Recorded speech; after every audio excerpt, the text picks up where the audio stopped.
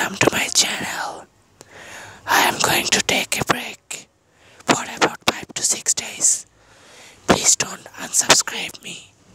Stay subscribed to me. I will be